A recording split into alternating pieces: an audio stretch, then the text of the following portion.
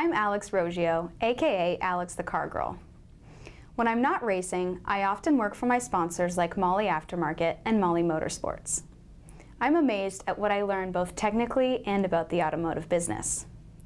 In this edition of Did You Know, my subject is Mahle Original Piston Rings.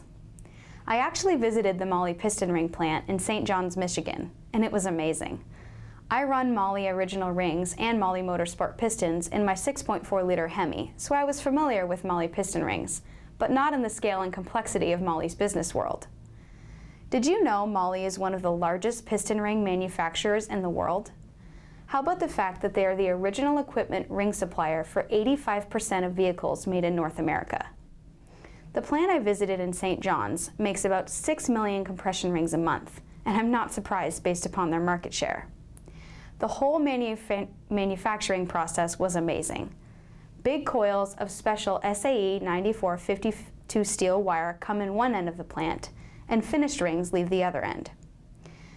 This wire is a very special high alloy carbon steel material that will withstand a million miles in a diesel engine and several hundred thousand in a gasoline engine.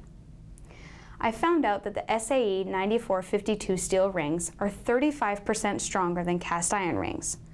With the very lightweight ring packs used at the OE level, this is a really big deal. Another really amazing process I saw at the plant was how they apply a moly coating to the ring face. Moly, short for molybdenum, is a metal that has been used for ring face coating since the 1970s. I quickly learned that today's technology is far more advanced than the wire sprayed moly used back then. The process Mahle uses today is called HVOF, which stands for High Velocity Oxygen Fuel. With HVOF, a partially melted stream of a patented metal and ceramic alloy containing molybdenum and other exotic materials travels to the ring face faster than the speed of sound. It was amazing to watch the process. The bond strength and density of the material, superior to any other Mahle process, compares very well to rings with GNS, gas nitride steel, PVD, physical vapor deposition, and DLC, diamond-like coatings, with the HVOF advantage being better bore life than these other processes. I was also impressed that Mahle Aftermarket and Mahle Motorsports have already got these high-tech rings for sale. For drag racers like me, as well as circle track folks, both Mahle groups offer a 1mm, 1mm, 2mm ring pack. The top ring is the steel HVOF that Mahle calls HV385, and the second ring is 1mm steel Napier.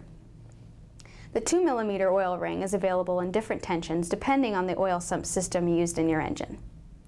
Even more impressive to me was the fact that the aftermarket group has already got the steel ring lineup in over 100 engine families covering 68% of vehicles sold in North America.